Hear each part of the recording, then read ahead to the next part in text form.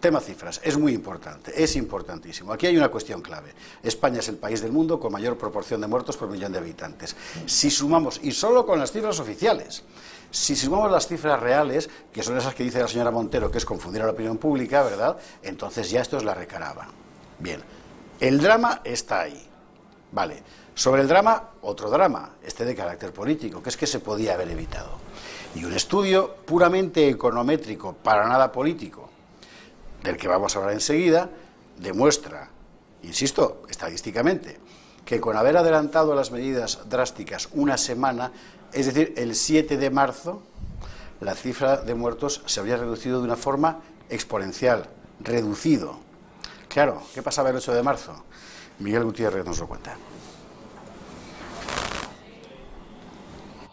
Más de 180.000 contagiados y más de 19.000 muertos, sin contar con la actualización de Cataluña. Este es el balance oficial de la mala y tardía gestión de la crisis por parte del Gobierno. Estamos tomando medidas duras que están teniendo eficacia, que están protegiendo, salvando vidas y están beneficiando al conjunto de ciudadanos españoles, vivan donde vivan. El confinamiento ha frenado la expansión del virus, sí, pero ¿tenía el Gobierno información suficiente para haber actuado antes? ¿Y ¿Qué hubiera ocurrido si se hubieran aplicado estas medidas a tiempo? El Ejecutivo conocía el peligro que suponía la pandemia desde mucho antes de la aplicación del estado de alarma y podría haber evitado este desastre sanitario. Había razones de sobra para actuar, pero el Ejecutivo esgrime esto. Es justamente la manera improvisada en la que la pandemia se ha presentado en el conjunto de Europa y por tanto creo que nuestro país sin duda ha hecho un esfuerzo ímprobo por atender la emergencia sanitaria Ciudadanos preguntó el 22 de enero al gobierno si había puesto en marcha medidas de vigilancia y prevención ante posibles brotes en España. La respuesta del gobierno llegó muy tarde, el 26 de febrero, y decía que se estaban siguiendo todas las recomendaciones de los organismos internacionales. Mentira. Vox alertó de esto y pidió en febrero que se actuara.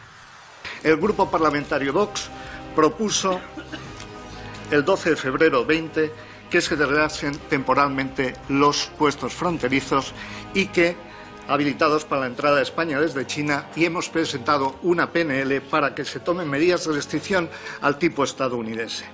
También nos advirtió el Centro para la Prevención y el Control de Enfermedades Europeo que el 23 de febrero dio el visto bueno al cerrojazo de localidades en Italia y el 2 de marzo avisó del alto nivel de contagio del COVID-19 y recomendó suspender todo tipo de concentración, y que los países consiguieran material para proteger a los profesionales sanitarios.